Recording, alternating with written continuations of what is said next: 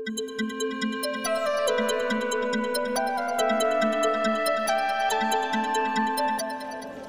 je vous présente Sylvie Pacro, euh, qui est professeure en études politiques euh, à l'Université d'Ottawa. Merci, Mira.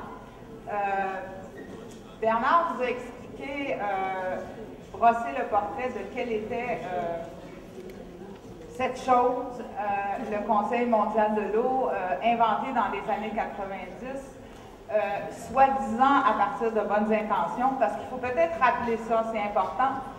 Mira disait au départ, le discours c'est fondamental.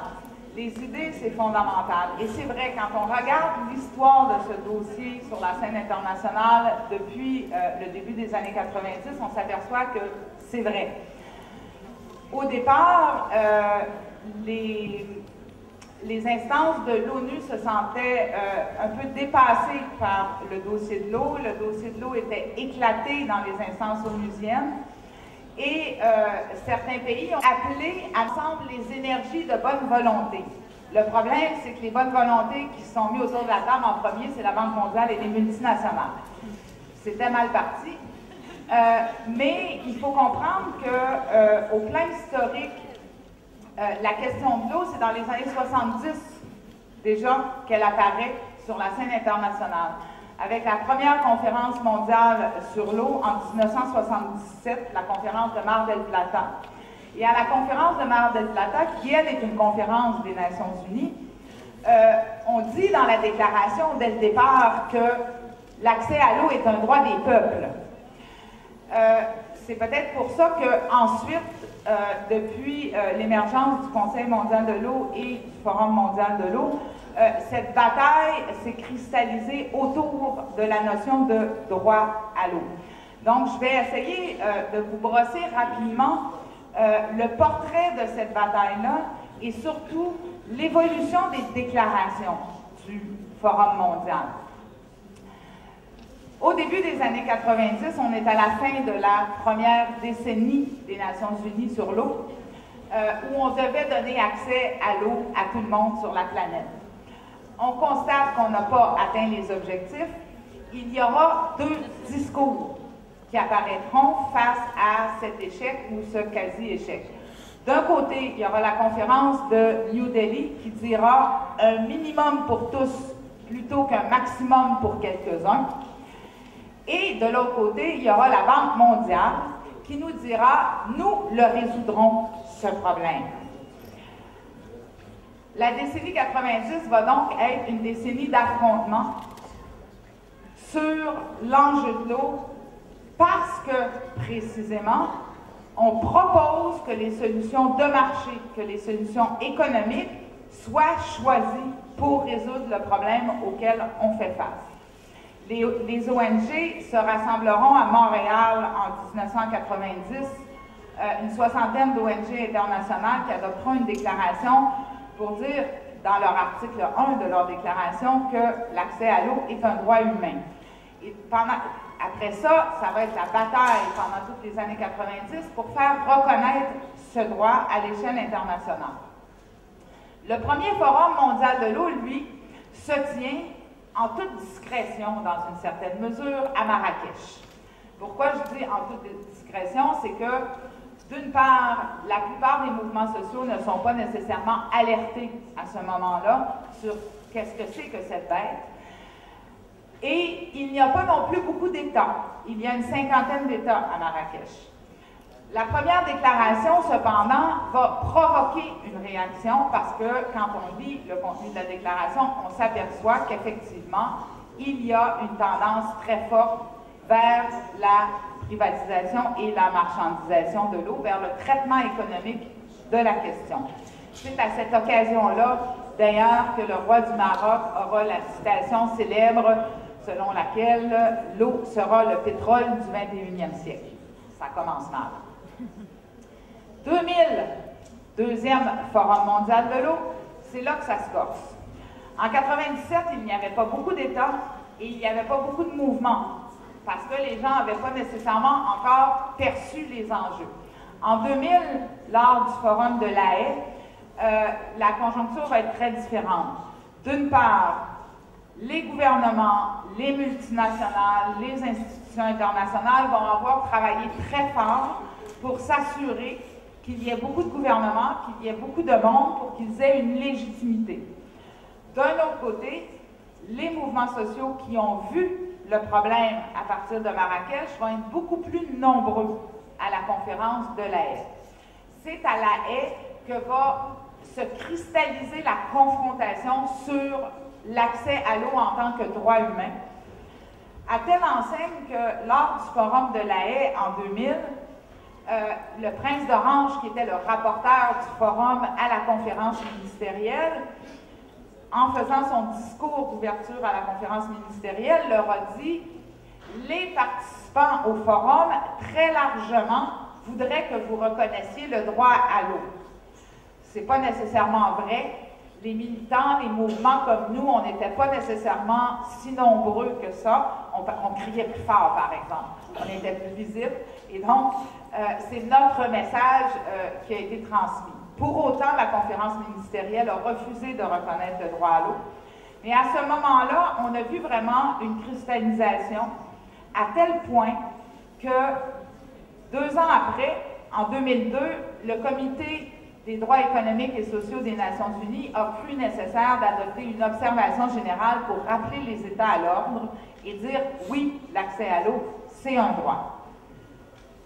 C'est une instance onusienne, ce sont les États qui sont membres de ces instances-là. Pour autant, on arrive au troisième forum mondial à Kyoto, pas de reconnaissance du droit à l'eau.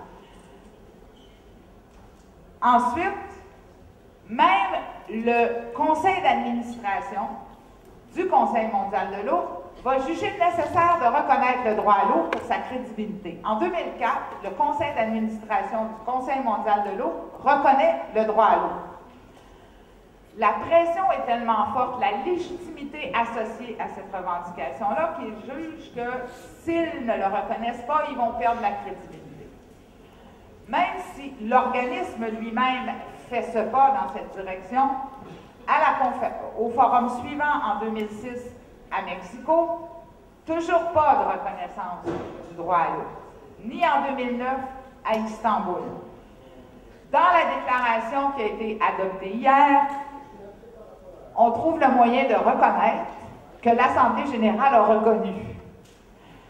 Il y a donc toujours cette barrière à accepter qu'il y a une logique principale s'agissant de l'eau, c'est que c'est une ressource vitale.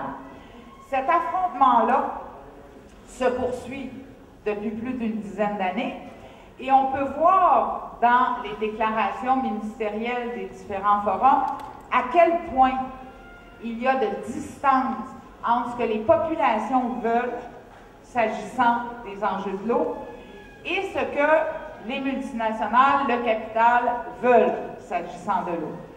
Quand on regarde toutes les déclarations depuis 97, 97, 2000, 2003, 2006, 2009, 2012, qu'est-ce qu'on voit? On voit un discours économique, financier, qui va en augmentation constante. Des enjeux de droit qui sont à peu près pas abordés et des enjeux environnementaux dont la pollution, qui ne sont abordés que de manière parcellaire, à la pièce, sans aucune liaison avec les problématiques qui, confrontent, qui confrontent les sociétés sur la question de l'eau. Or, c'est un enjeu majeur, parce que dans le fond, au point de départ, l'objectif, si on revient au discours de départ, l'objectif de la Banque mondiale en 90, mais avec elle, des transnationales qui voulaient faire de l'argent avec l'eau. L'objectif principal, c'est de faire rentrer cette ressource vitale dans la sphère économique. Pour faire rentrer l'eau dans la sphère économique, il faut d'abord et avant tout qu'on la considère comme rare. Or, la pollution est un des premiers des, premiers moyens de raréfaction, les premières causes de la raréfaction. Le fait qu'au fil du temps, on n'ait jamais fait ce lien-là est très compréhensible puisque ce que l'on vise, c'est effectivement la gestion de l'eau comme un bien rare et comme un bien économique. À partir du moment où on considère l'eau comme un droit humain, comme un bien commun, la problématique de la pollution devrait être, elle, articulée constamment dans les enjeux et dans les propositions.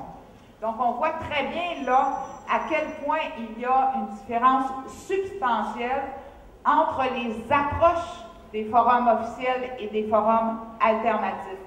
Parce que le fondement est différent, on ne traite pas les différentes questions de la même manière. Et on s'aperçoit que derrière des mots et des discours qui peuvent se ressembler parfois, il n'y a pas la même réalité. On est capable de voir, par exemple, qu'au fur et à mesure que les mouvements sociaux ont poussé pour l'autonomie locale, par exemple, les forums officiels ont rentré dans leur discours les autorités locales. Mais là encore, il faut le regarder avec la différence substantielle qu'il y a derrière. Pour les forums officiels, quand on lit les déclarations et les textes, quel est le rôle qu'on donne aux autorités locales? On donne un rôle de gestionnaire. Gérez bien cette ressource rare. Du côté des forums alternatifs et des mouvements sociaux, le local est invoqué pour la participation des populations, pour la prise en charge politique par les communautés. C'est déjà, c'est le même mot. Hein? On parle de la même chose, on pense, on dit autorité locale, mais derrière le mot, on ne dit pas la même chose. Et dans l'ensemble de ce que vous allez voir sortir des travaux du forum officiel et du forum alternatif, vous devez garder à l'esprit cette différence qui marque la problématique et la bataille de l'eau à l'échelle internationale depuis les années 90 et qui était inscrite d'ailleurs en toutes lettres dans le document de politique générale de la Banque mondiale de 1994. L'objectif de ces institutions, c'est de dépolitiser l'allocation des ressources en eau. Notre objectif comme citoyens, comme mouvements sociaux, c'est justement de repolitiser la question. Parce que la dimension politique des choses, c'est celle qui nous permet effectivement de décider pour nous-mêmes. C'est celle qui permet que les peuples puissent choisir effectivement la direction qu'ils veulent prendre, les finalités qu'ils veulent poursuivre. Quand on dit on dépolitise, on gère tout simplement parce que la direction est déjà donnée, c'est celle de la Société mondiale de marché. C'est là-dedans qu'on veut faire rentrer l'eau. Thank you.